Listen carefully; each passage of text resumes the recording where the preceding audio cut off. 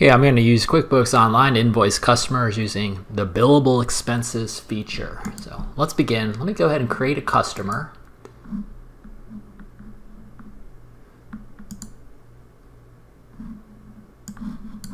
All right, and then here we'll just just make up Corpus Christi.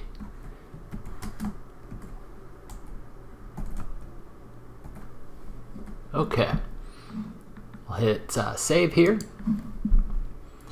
All right, now my new customer, Corpus Christi, is going to have an invoice. And when we create an invoice, what I would like to do is I would like to be able to see all of my billable expenses that I've occurred in the past, just be able to click and add them off to the side here. So to do that, let me leave here.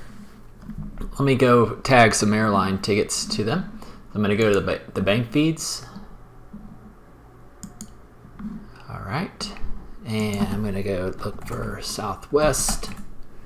Okay, so we'll save this one right here, and we can go up here to billable.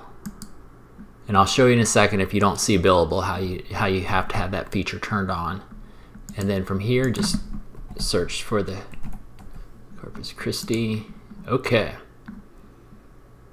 Southwest Airlines. All right. And um, the memo is very important here. So the memo that pulls in, this is what's going to come into the invoice. So I kind of like to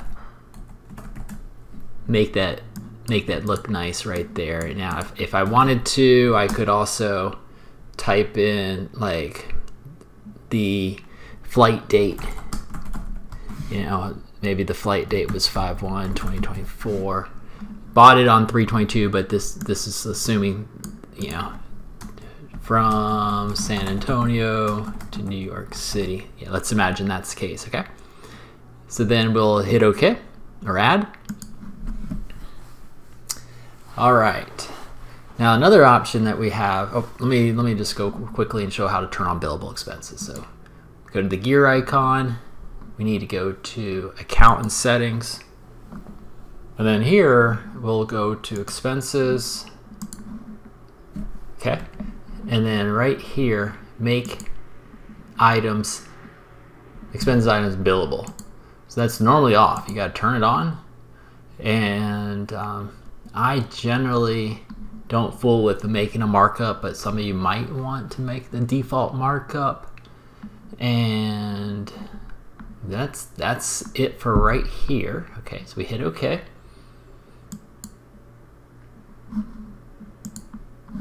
All right.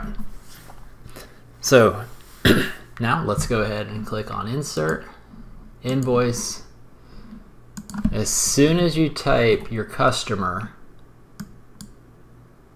okay, over on the right hand side should pick up on the suggested transactions. So here, here we have it. I'm just going to click add. Awesome. So Notice it comes in without a product or service, so that's okay.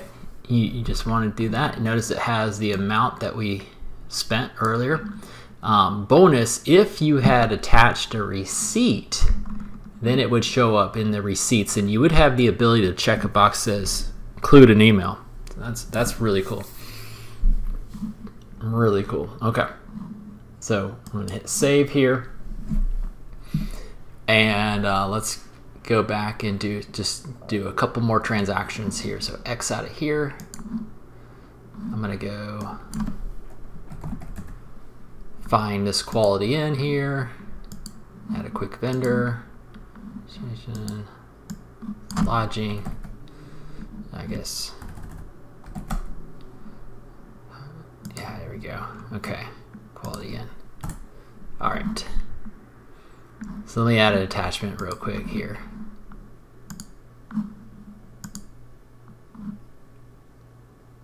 Okay, so I've attached it, need a billable. Corpus, oops, wrong section. Need to be in the customers.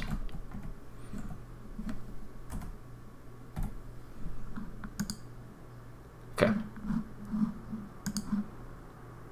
All right, next uh, return back to the invoice. We can get to it from the magnifying glass since we just did it.